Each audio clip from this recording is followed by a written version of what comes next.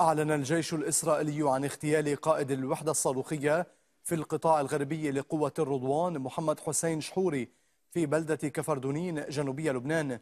وأضاف الجيش في بيان أن محمد شحوري كان مسؤولا عن تخطيط وتنفيذ عمليات عدة لإطلاق قذائف صاروخية نحو إسرائيل من منطقة القطاع الأوسط والغربي في جنوب لبنان.